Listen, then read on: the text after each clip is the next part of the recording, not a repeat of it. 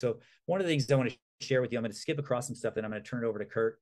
Is this is something that we're actively building in in EPX today.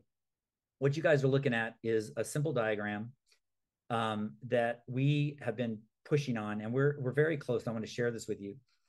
When we get done with this, when we get done with this call, right? When Nate, when you get done with one of your things, or Kurt with one of your things, we have an MP4 file, right?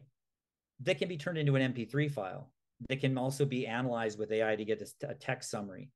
And one of the things that we're building is a machine where this this this this video will be turned into audio It'll be blended without me being there. My voice introducing the podcast, exiting the podcast, this thing being cut correctly, branding, audio being put on both sides, out the door to syndication.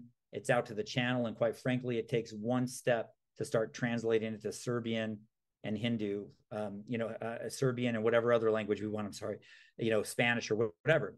Um, this is possible and we are we've got this thing down to to needing about 13 minutes per podcast of a, of a human time kurt um, was actually showing us in the early days how to take this to get this right three minute video that gets out to youtube this gets prepared for social and the text piece. So this is a this would never be possible if it wasn't for ai and a string of tools and automation put together. And so these are some of the things that you know those of us that are trying to work on how do you take multimedia and floor it. Now those things of course are based on us already having this video.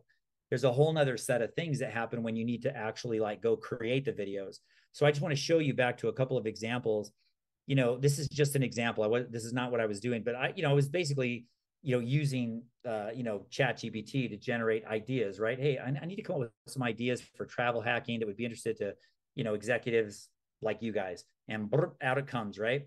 And so then I had these things, and I'm like, I mean, these these all sound pretty good, but in order to build a library, you know, I need to scale this pretty quickly. And so without having to license anybody else's stuff, here I go over to. Um, let me just pull this up really quick. This is uh, uh, this is um, let me just click on this really quick. Here, here, I just dropped these things in here. And then, of course, what I was sharing with you guys is that you can start to put AI in these spreadsheets. And so here's the list. If I put the right formula here and I say, hey, look at that title and now give me a, a couple of tactics, right? Then I can drag and drop this. And all of a sudden I have a summary of all these things, right? If I go over, I, I get, I, I, guess this is going to take a second to load if, if I'm even, I might even be connected. But the point is, I was basically summarizing as much as I wanted to. I could have a video script coming off of this, a social prompt that would be for LinkedIn, a different one. All these things are built by dragging and dropping these these uh, the, these formulas formulas